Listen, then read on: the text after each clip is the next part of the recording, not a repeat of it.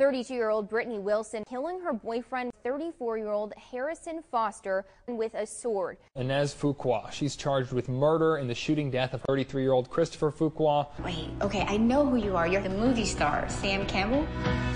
Wait, like Regina's nephew? From Lovable Strangers. The very same. He's here for two seconds and then he's gonna run back to LA where he probably has a million gorgeous girls waiting for him. I guarantee that none of them are as hardworking or as talented or as smart as you. Figuring out a way to save the theater. Interesting cast. Sam as Cratchit. Look, Riley, I just want to warn you involving Sam changes nothing. Pretty girl comes along and makes you forget that we had a deal. You made it seem like you were totally innocent in this. You lied. Sorry.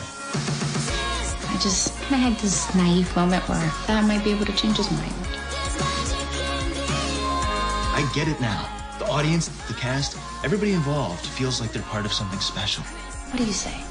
God bless us, everyone! Joanna Goodfellow, the driver accused of hitting and killing 32-year-old Christopher Phillips, 20-year-old Soraya Atkins, and 25-year-old Kimberly Lindsay, of the two suspects in the robbery and shooting death of Robert Perry. This woman, Yolanda Harris, shot and killed Matthew Allen.